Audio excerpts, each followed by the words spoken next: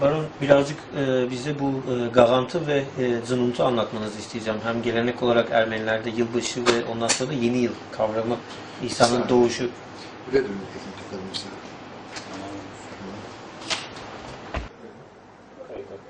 Dört, üç, iki, bir. Baron biraz bize e, bu yılbaşı geleneğinden, Ermenilerde yılbaşı geleneğinden bahsetmenizi isteyeceğim. Garantı daha doğrusu ve daha sonra 6 Ocak'ta kutladığımız genelde zınuntu anlatmanızı isteyeceğim. Çünkü bu kitapta bununla ilgili çok ilginç de bilgiler var. 2003'te yayınlanmıştı bu kitap Nisan'da. Sonra tekrar da çıkmadı. Evet çıkmadı. Ee, Gahınt yahut da yılbaşı e, ismi üstünde e, Yunanca'da Galeo e, kelimesinden gelir. Galeo'nun anlamı da çağrıdır, çağırmaktır. E, bu çağrı e, her ayın ilk günü eski putperest dönemde insanların tanrılara e, yaptığı bir çağrıdır ve e, ibadethanelerde bu çağrıyı e, kutsamasıdır. Dolayısıyla e, süslenir, özenilir, bizimle süslenir ibadethaneler. Kiliselerden bahsetmiyoruz, eski ibadethaneler. E, her ay başı bu çağrı yapılırdı.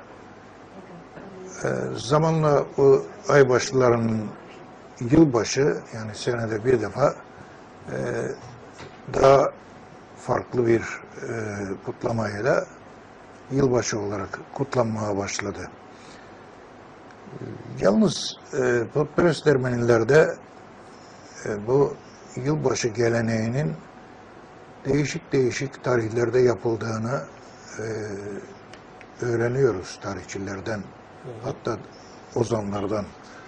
E, örneğin e, eski bir e, geleneğe göre Paregentan dediğimiz şimdi karnaval adı verilen o insanların maskeler takılarak e, eğlenceler tertip etmesi olayı e, çok eskiden yılbaşı olarak e, kabul ediliyor ve kutlanıyordu. E, daha sonra e, Vartıvar bayramı dediğimiz e, Ermenilerin en eski bayramı farz edilen Nuh peygamberden kalma, tufandan kalma, e, yağmurdan kalma e, Vartıvar bayramı ki insanlar birbirini ıslatıyor o günü. E, o günü yılbaşı olarak kabul edilmiş Ermenilerde. Ama daha sonra Ağustos'un 15'i ortalarında bir gün e, yılbaşı sayılmış. Navasart dediğimiz yeni yıl sayılmış. Çünkü e, Navasart sonuçta e, hasat için verdiği ürünler için tanrılara minnet, teşekkür duygularını ilettiği gün sayılıyor. Dolayısıyla da o gün yılın başı sayılıyor. İnsanlar ürünlerini toplayıp hasatlarını, ambarlarına yüklüyorlar. Ondan sonra da oturup bayram ediyorlar. İşte yılbaşı budur. Biz aslında garantı ve şeyi e, e, zınuntu aslında farklı algılayalım. Hep karıştırılır çünkü. Ee, bu anlattıklarımız hepsi yılbaşı ile ilgili. Ama e, şu var ki Hristiyanlığın kabulüyle e, İsa'nın doğum günü olan e, sayılan 1 Ocak yılbaşı e, diye kabul edildi. E, Hristiyanlığı kabul eden, 301 yılında Hristiyanlığı kabul eden Ermeniler de tabii bundan eksik kalmadı. Onlar da yılbaşını ocağın birine taşıdılar. Aslında İsa'nın doğum günü e, 25 Ocak'ta kutlanıyor Dünya Hristiyanları tarafından. Ama bildiğimiz gibi Ermeni Kadim Kilisesi e, İsa'nın doğumunu ve vaftizini Ocak 6'da yani birinci ayın 6'sında kutluyor. E, bu aradaki fark e, bir dünya Ortodokslarıyla, dünya Hristiyanlarıyla e, Ermeni Ortodokslarının e, bir konsil anlaşmazlığından, Kalkedon Konsili, Kadıköy Konsili e, toplantısı anlaşmazlığından doğmuştur. E, o tarihte 452 tarihinde e, toplanılan Kalkı, e, Kalkedon Konsili, Kadıköy'de toplanan Kalkedon Konsili'nde e, İsa'nın doğumu, doğuş bayramı 25 e, Aralık'a taşınmış. O konsile çeşitli nedenlerle katılmayan Ermeni Kilisesi bu karara imza atmadığından kabul etmemiş. Başka birçok kararlar gibi ve 6 Ocağı e, sürdürmüş İsa'nın doğum günü olarak e, kutlamayı. Dolayısıyla bugün Ermeniler dışında 6 Ocak'ta doğum günü kutlayan Hristiyan yok. Bütün dünya 25 Aralık'ta kutluyor. Sonra ocağın birinde yılbaşını kutluyor. Yılbaşı kesinlikle bir dini bayram değil Hristiyanlar için. Ve 6 Ocak'ta da Ermeniler e, İsa'nın vaftiz günüyle doğumunu birlikte kutluyorlar. Bayramların öncesinde Navagadik dediğimiz, Hutun dediğimiz bayramların öncesinde e, perizler vardır. E, Ermeni bayramlarında da. Öyle ki Zununt yani doğuş bayramı dediğimiz e, Hazreti İsa'nın doğduğunu kabul ettiğimiz 6 Ekim'in öncesinde de bir periz dönemi vardır. Ama bizim bu periz dönemlerimiz e, biraz farklı, biraz daha e, hoşgörülü. E, pardon, perizler olup e,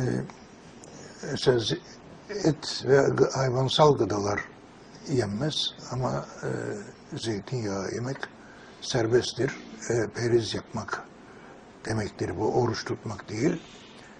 Ve e, bu periz e, bayramın arifesinde, cumartesi günü bozulur. Bayram e, girer, akşam kilisesi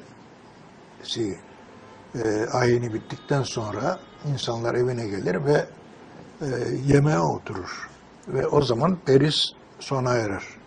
Bu ertesi günün başladığını gösterir. Çünkü yedi ışık yani gökte yıldızlar parladığı zaman zaten o gün bitmiştir ve öbür gün başlamıştır.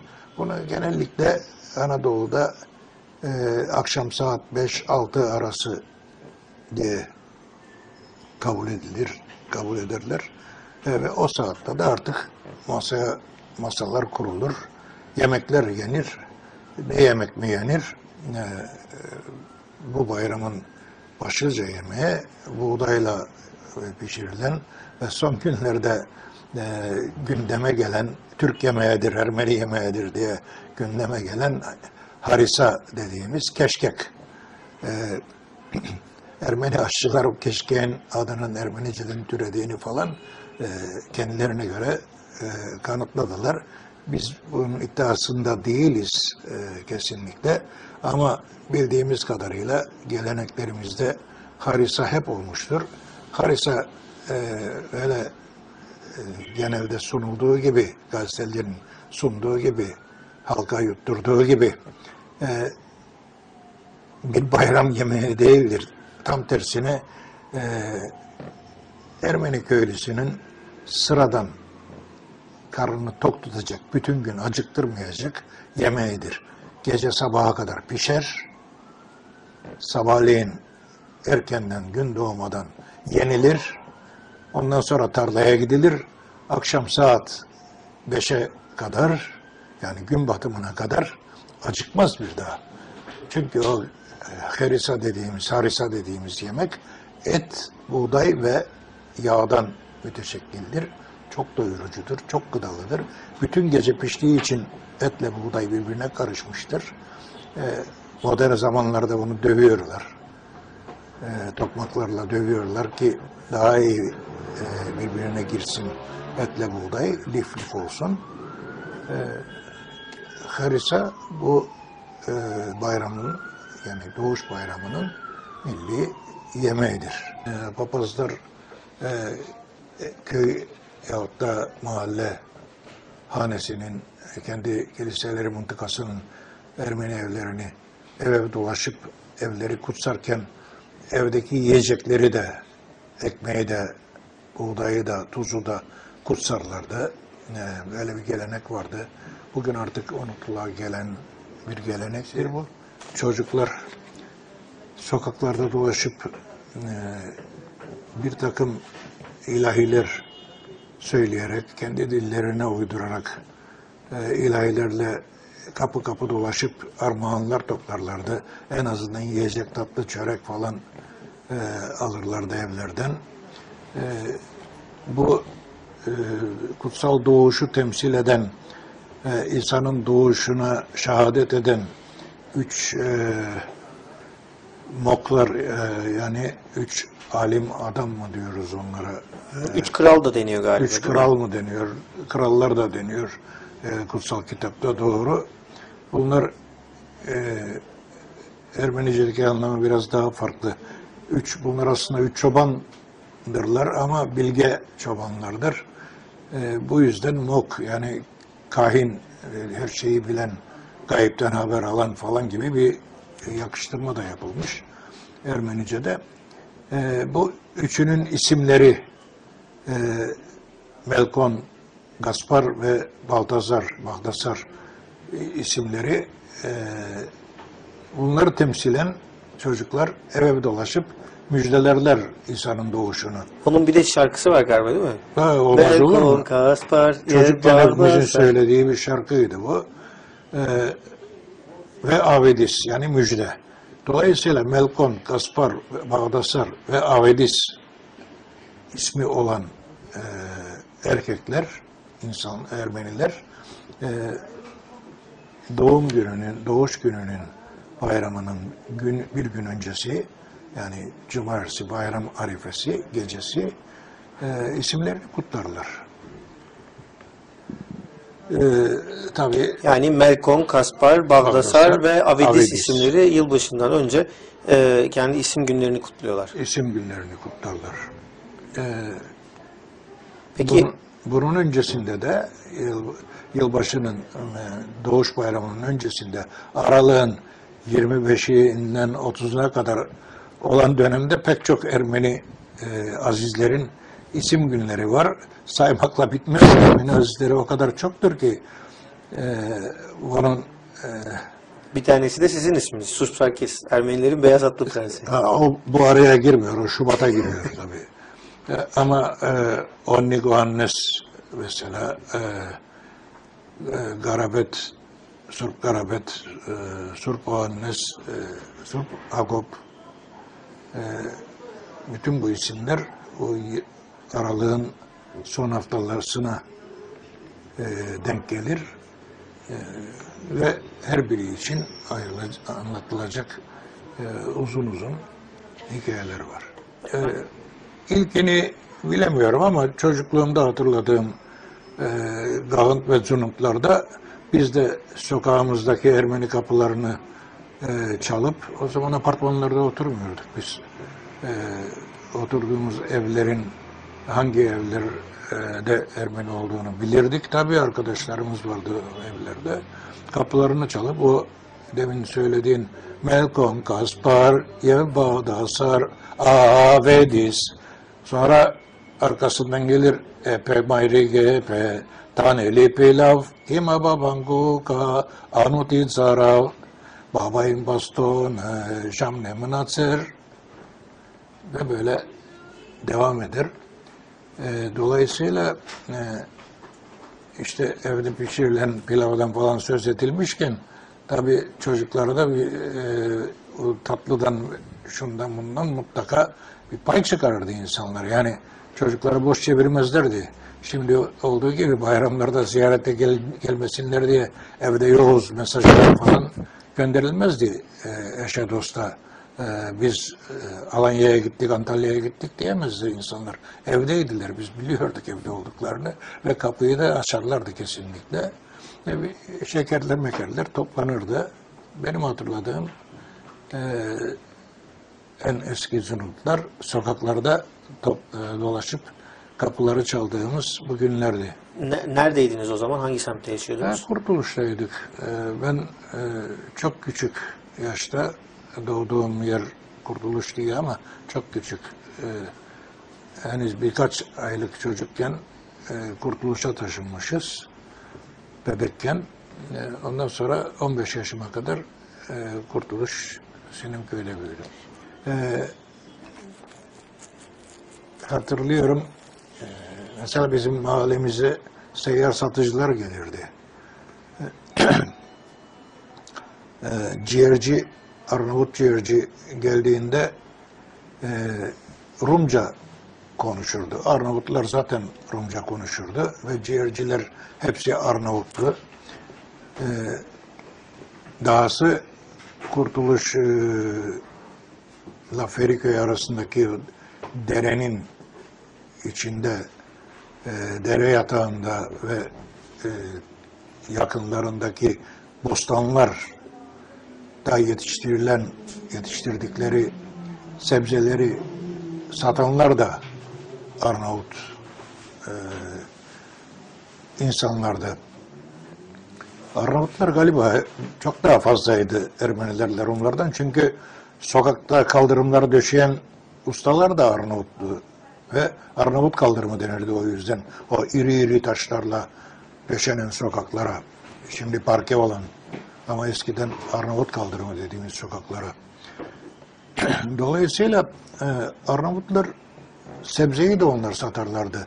Ya sırtlarında ya at ve merkep sırtında ya da e, el, el arabaları pek hatırlamıyorum. Pek fazla el arabası yoktu. Genelde hayvan sırtında getirilirdi bunlar mahalleye ve o Arnavutlar kapıyı çaldıklarında e, evdeki ev e, kadınlarına çoğu yaşlı olan ev kadınlarına Rumca e, hitap ederlerdi. Çünkü o, o kadınlar zaten Türkçe bilmezlerdi ya. Türkçeleri çok kötüydü. E, Rumca konuşurlardı. İşte neyim var bugün? İşte ciğerim var, da, dalak var, işte taze dalağım var, getirdim bugün falan. Zaten bayat yoktu o zaman. Ciğerci mesela tel dolaplarında e, saklardı e, kesilmiş hayvanın sakatatını ve satardı. Sinek konmasın diye ama soğutma sistemi yoktu o yıllarda. Ve Rumca konuşulurdu. Mahallenin dondurmacısı bile Rumca bilirdi. Çocuklara dondurma satan adam bile Rumca bilirdi. E, ve biz topumuz e, Rum adamın bahçesine kaçtığı zaman top oynarken onu kızdırmamak için kapısını çaldığımızda topumuzu Rumca istemek mecburiyetindeydik. Çünkü Türkçe konuşsak kapıyı belki yüzümüze kapayıp topumuzu vermeyecekti. Ya patlatır diye topumuzu korkardık. Ve Rumca rica ederdik topumuzu verir misiniz diye. O da bahçeden topumuzu atardı. Ee, aynen Ermenice konuşurduk. Evden annemiz çıktığı zaman pencereden veya halamız çıktığı zaman eve gel diye Ermenice seslenirdi bize. Ee, tabii Türkçe de konuşulurdu ama e, üç dilde konuşulurdu bizim mahallelerimizde. Ve e, biz e, bayram günü bir Rum'un kapısını da çalsak e, pek boş çevirmezlerdi bizi yani. Yanlışlıkla e, Ermeni evi diye bir Rum